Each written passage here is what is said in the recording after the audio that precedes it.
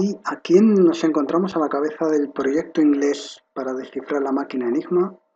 Bueno, pues nos encontramos al matemático, que también, por cierto, sabía jugar al ajedrez, Alan Turing. Murió muy jovencito, además, al estilo Blancanieves, mordiendo una manzana envenenada. Y em, fue capaz de construir una máquina electromecánica, la vamos a ver aquí, la llamaban la bomba. Vamos a hacer un zoom. Y esta máquina tenía como objetivo tratar de encontrar esas palabras, esas frases que los nazis repetían y que por lo tanto podrían ser empleadas para descifrar mensajes similares en el futuro. Hay que tener en cuenta que a fin de cuentas esto es un patrón.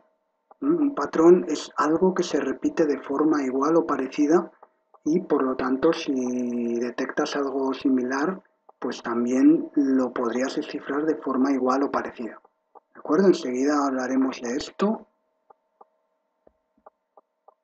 Bueno, la BBC realizó un documental muy interesante, está en YouTube, lo puedes ver, se titulaba Secretos de la Segunda Guerra Mundial y en él aparecía Harry Golombek, que fue uno de los ajedrecistas encargados de ayudar a descifrar la máquina Enigma.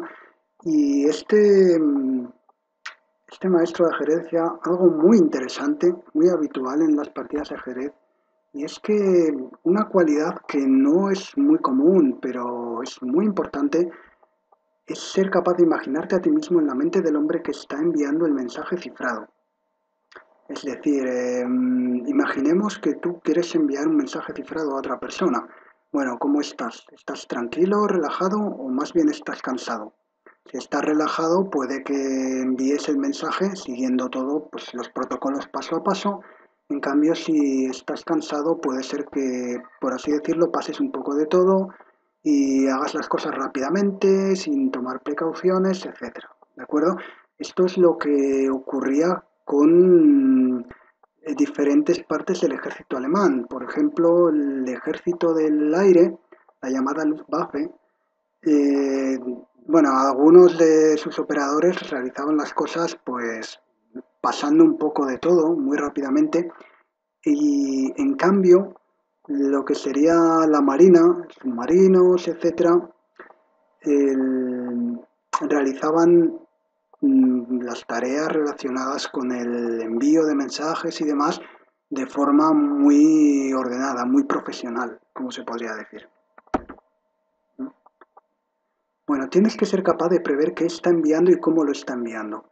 Imagínate que quieres enviar un mensaje. Bueno, ¿con qué palabras lo vas a enviar? ¿Cómo vas a organizar esas frases? ¿Va a haber algo que repitas o todas las frases van a ser diferentes?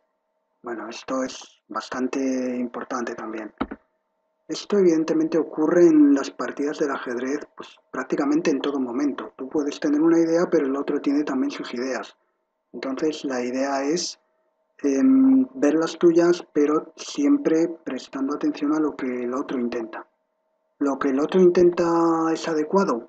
De ser así, tengo que estar preparado. ¿Cómo lo va a intentar? ¿En qué momento?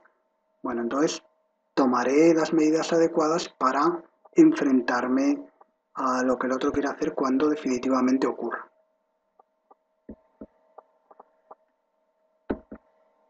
Vamos a ver algunos de los patrones que mm, dejaron caer los nazis en algunos de los mensajes. Hay que tener en cuenta que si bien la máquina Enigma era muy robusta, en el sentido de que descifrarla era pues, prácticamente imposible, la cantidad de combinaciones posibles era abismal, era enorme.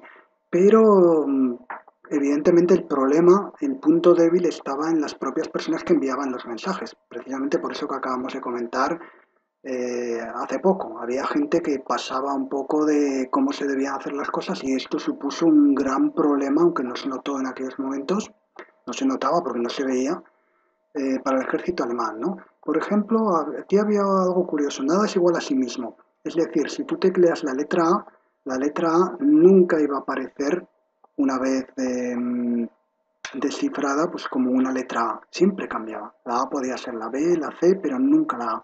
Entonces, hubo un caso curioso, por ejemplo, en el que un operador para probar la máquina Enigma eh, pues en vez de escribir un mensaje, pues más o menos normal, o probar diferentes teclas, simplemente puso la tecla T.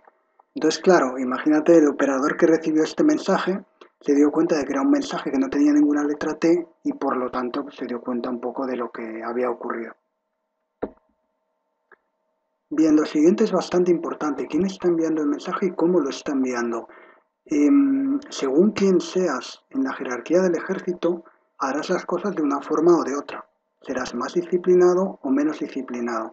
Entonces, ¿son los peces gordos los altos mandos del ejército los que te van a proporcionar más pistas, más información? No, esos van a hacer las cosas probablemente de una manera ordenada, rigurosa y metódica.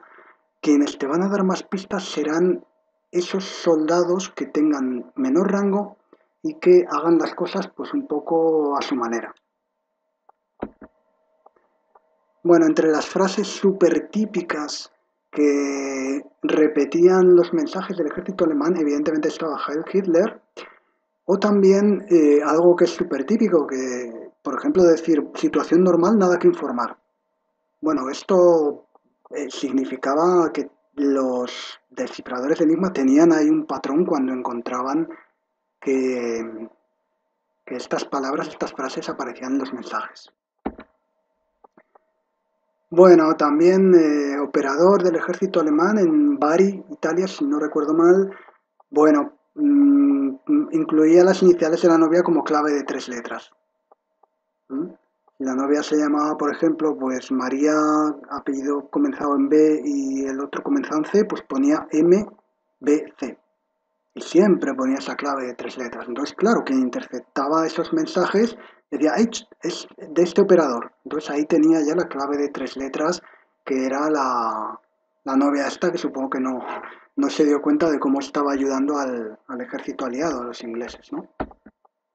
Bueno, por otro lado, también muy típico, los submarinos y el ejército del aire, etcétera. Bueno, en general en una guerra es muy importante hacer un seguimiento meteorológico, un seguimiento del tiempo, para ver si aquellas zonas eh, a las que vas a ir, a las que vas a enviar tropas, pues tienen, eh, van a caer, por ejemplo, bajo una tormenta o cosas similares, ¿no? Entonces, había que enviar formularios e informes meteorológicos y evidentemente en ellos se repetían ciertas palabras que son muy habituales. Lo mismo que cuando pones la tele y oyes hablar de meteorología, pues muchas veces oyes nubes, lluvia, ¿de acuerdo? Entonces eso, esas palabras que se repetían eran un patrón muy importante para quien descifraba estos mensajes, ¿no? Bueno, también el ascenso del almirante Denich, no, el de Denich almirante, viene, bueno, si no recuerdo mal, los formularios eran el mismo, no sé si el mismo cambiaba un poco, entonces también hay un patrón que se podía recolectar, ¿no? Bueno, vamos a hacer aquí una especie de alto simbólico, alto con L, aunque también es un acto, lo vas a ver ahora, simbólico.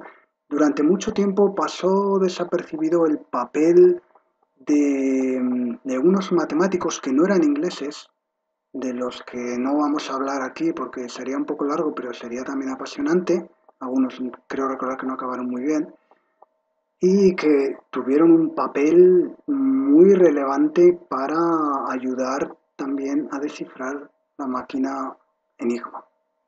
Entonces tenemos aquí a Alan Turing, vamos a dejar que hable él directamente.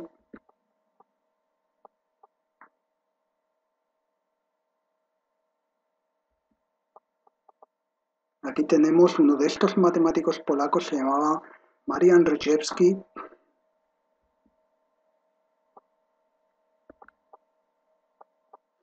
Muy bien, lo voy a comentar así muy rápidamente. ¿Qué hicieron los polacos? Bueno, los polacos fueron muy avispados y, e interceptaron una máquina Enigma antes de que comenzara la guerra. Si no recuerdo mal, creo que fue en la embajada de Varsovia, la capital de Polonia, y lo que hicieron, fíjate, fue lo siguiente.